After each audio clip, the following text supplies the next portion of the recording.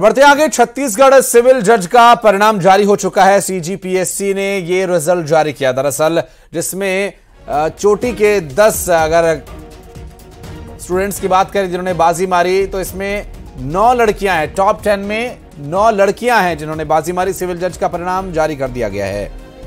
ईशानी अवधिया ने परीक्षा में टॉप किया है। अर्पित गुप्ता दूसरे, मानसी बिष्ट तीसरे नंबर पर रही। अड़तालीस पदों के लिए एक सौ बावन अभ्यर्थियों का इंटरव्यू हुआ था।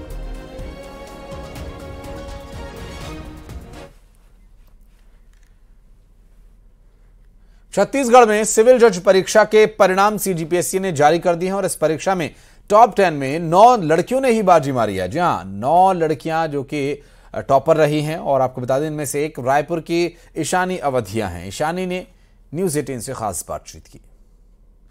सेवा आयोग ने सिविल जज परीक्षा के जो परिणाम है वो जारी कर दिए हैं। हमारे साथ टॉपर है ईशानी अवधिया जिन्होंने छत्तीसगढ़ में टॉप किया है। ईशानी जी सबसे पहले आपको बहुत बहुत बधाई। बहुत बहुत धन्यवाद आपका।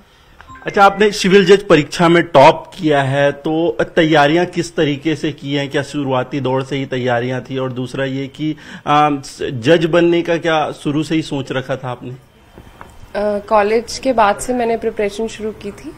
और जज बनना है, ये तो मुझे कॉलेज में क्लियर हो गया था, जब मैं ग्रेजुएशन कर रही थी, तभी। तब से क्लियर था ये माइंड में कि ये गोल है। इसके बाद कॉलेज के बाद से मैंने प्रिपरेशन शुरू की है 2017-18 से।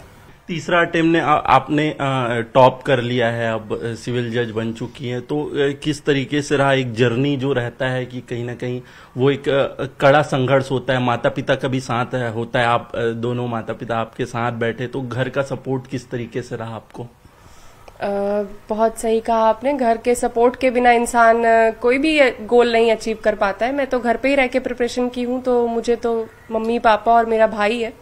उन तीनों का ही पूरा सपोर्ट रहा है। एक बड़ा अचीवमेंट आपका है आप बड़ी ज़िम्मेदारी संभालने वाली। इसके साथ ही समाज के प्रति जो एक ज़िम्मेदारी है वो भी बहुत बड़ी बनती है। तो उसको किस तरीके से निभाएँगे? क्या सोच के रखा है? अभी तो यही सोचा है कि जिस उद्देश्य से मैं बनी हूँ कि जस्टिस देना है लोगों को बिना पार्शियल हुए तो उस उद्देश्य को पूरा करने की मैं पूरी अपने तरफ़ से कोशिश करूँगी। मेरे तरफ़ से किसी भी तरीके की कोई गलती ना हो। जी। न्यायिक व्यवस्था आपने काफ़ी पढ़ा है और किस तरीके से न्यायिक व्यवस्था चलता है।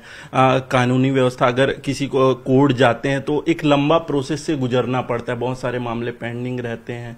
तो इसके लिए क्या एक सोच आ, सिविल जज आप बन चुकी हैं इसके लिए क्या सोच है आपकी? किस तरीके से व्यवस्था में इसमें सुधार होनी चाहिए?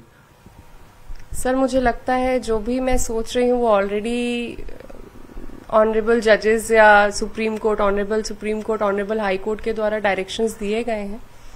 तो मैं भी बस उन्हीं प्रिंसिपल्स पे उन, उन्हीं प्रिंसिपल्स को फॉलो करूँगी कि केसेस का जो डिस्पेंशन है वो जल्दी हो। ये थे ईशानी अवधिया और उनके माता पिता जिन्होंने बताया कि काफ़ी मेहनत से मुकाम हासिल किया है और वो आगे भी बेहतर करेंगी। कैमरामैन नवीन के साथ आकाश शुक्ला, न्यूज़ एटीन, रायपुर।